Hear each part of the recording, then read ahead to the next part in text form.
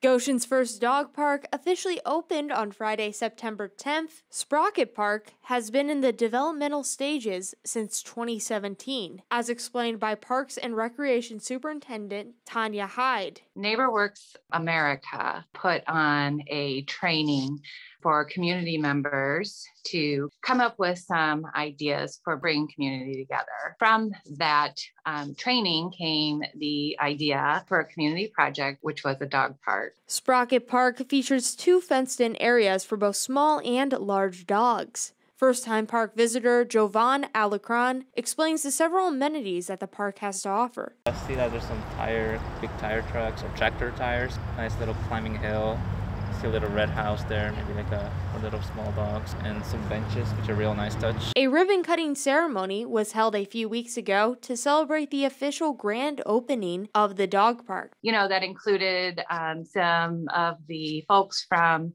the neighborhood association uh, who have been involved from from the very um, idea of the dog park all the way up to the completion of it.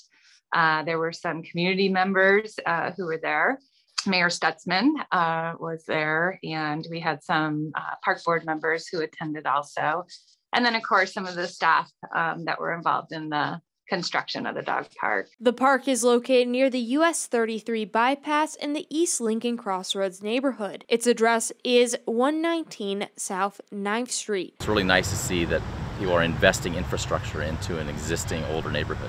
I really appreciate the city doing things like this. A lot of residents had been asking for this for years, and they finally found a great location for it. It's been a community project uh, from the inception, and and I think it will continue to to bring the community together. I'm Court Templeton for Globe News.